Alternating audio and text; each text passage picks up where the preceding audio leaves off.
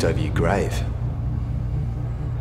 I know, Keats, it's just you look pretty good for a dead man.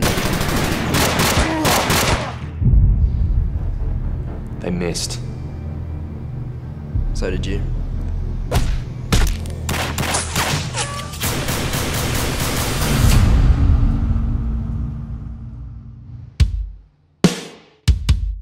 Think of it as chain of command. Boss brings it, finger buys it, and sells it. We'll be heading inside to get the gear off this guy named Badfinger. Real big, temperamental motherfucker.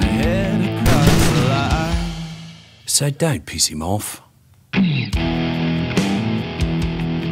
Badfingers organized a deal between him and O'Grady tonight, which makes me a little nervous. You can't make anything too serious. This is O'Grady's turn. You don't want to piss him off. The old man was a smart guy, Mikey. He knew that if he took something that didn't belong to him, he'd get into strife by the rightful owners. You never said this was O'Grady's turf.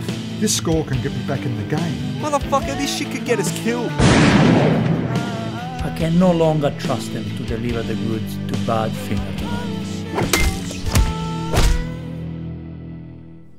That's why you're gonna do it.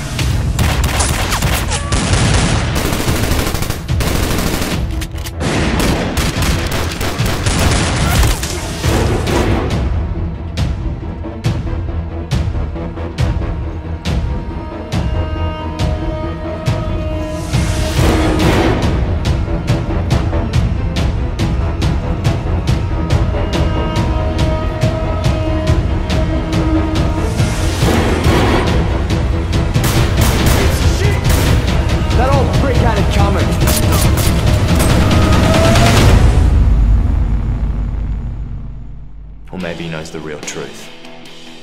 Everybody ends up dead.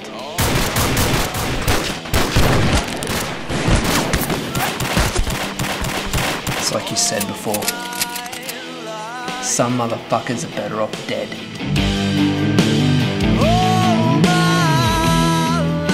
You're right about that.